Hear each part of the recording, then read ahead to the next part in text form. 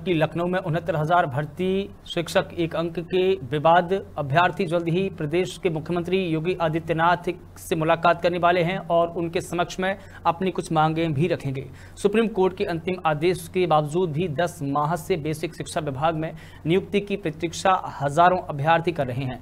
राजधानी लखनऊ के आलमबाग स्थित इको गार्डन में पच्चीसवें दिन भी इन प्रदर्शनकारियों का धरना लगातार जारी रहा। प्रदेश भर के दूर के जिलों से आए अभ्यर्थियों का कहना है कि 10 माह पहले 2022 में सुप्रीम कोर्ट ने शैक्षिक परिभाषा प्रश्न पर एक अंक बढ़ाते हुए कोर्ट की शरण में आए अभ्यर्थियों को मेरिट कट ऑफ़ के अनुसार नियुक्ति के इलाहाबाद हाईकोर्ट डबल बेंच के 25 अगस्त 2021 के पारित आदेश को सही करार देते हुए अभ्यर्थियों के पक्ष में फैसला सुनाते हुए सरकार की याचिका को खारिज कर दिया था। लेकिन बेसिक शिक्षा विभाग ने अभी तक हमें एक अंक से नियुक्ति से वंचित रखा है।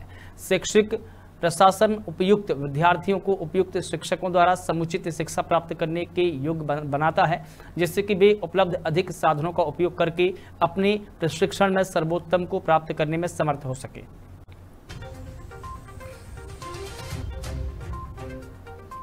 धरना स्थल पे मुख्य बात यह है कि ये शिक्षक भर्ती का मामला है उनतीस शिक्षक भर्ती, जो 2018 में आई थी। इसका 19 में एग्ज़ाम हुआ था और दिनांक इसके पेपर में कुछ प्रश्नों में कुछ हमको दिक्कत थी जिसको लेके हम हाईकोर्ट के समझ गए थे।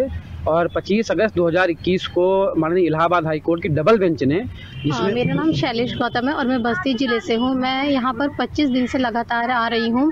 मेरे घर में मतलब मेरे तीन छोटे छोटे बच्चे हैं जिनको छोड़ के मैं यहाँ पर धरना देती हूँ। बाकी मैं उनको साथ में भी लेके आती थी बट आप देख रहे हैं यहाँ का मौसम कितना मतलब ज़्यादा ख़राब है। इतनी गर्मी है और बच्चों को यहाँ लेके आना मतलब सोचिए कि कितना मतलब उनकी तबीयत भी ख़राब हो रखी है और सोचिए, एक माँ अपने एक साल के बच्चे को छोड़ के रोज़ आ रही है, सोचिए उसके लिए कितनी बड़ी पीड़ा है ये। साथी के माध्यम से आपको पता चला होगा कि मतलब कि हमारी क्या मांगे हैं।